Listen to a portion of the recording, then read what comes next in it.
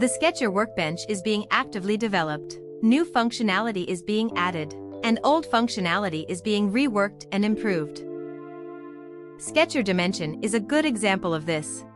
It can be called in several ways. It is either the corresponding icon on the toolbar or in the menu called by right-clicking the mouse or using the hotkey D. You can apply the dimension by pre-selecting the geometry or by activating the tool first and then selecting the desired geometry.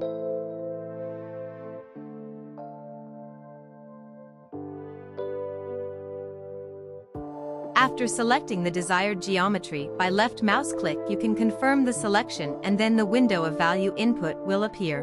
To cancel the selection you need to click the right mouse button.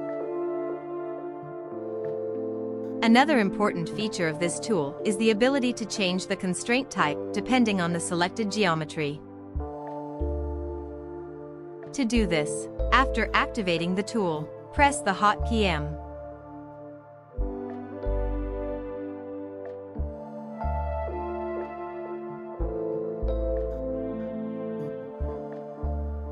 Now let's see how the dimension tool works depending on the selected geometry.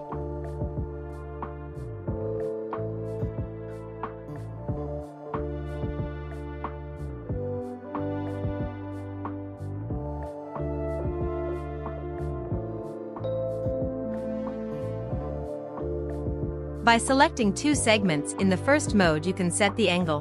When you press the hotkey M the segments become equal.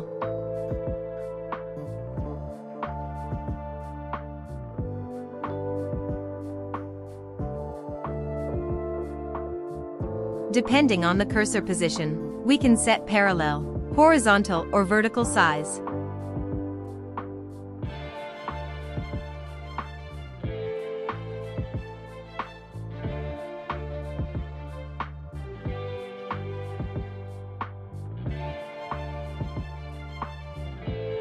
When selecting a point, you can specify the size relative to the origin of the coordinate system.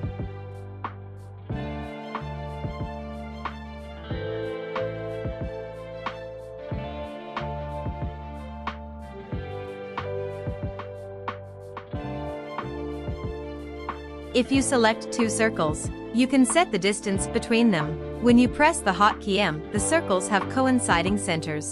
When you press the hotkey again the circles become equal. If the wrong mode is selected, press the M button. The available modes will be switched in order.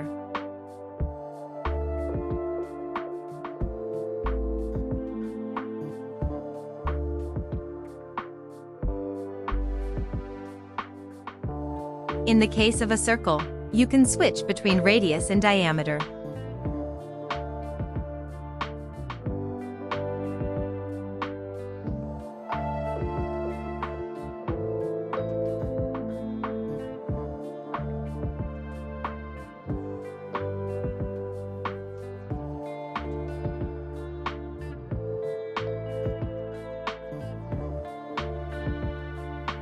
The tool also works with B-spline nodes, as well as other constraints.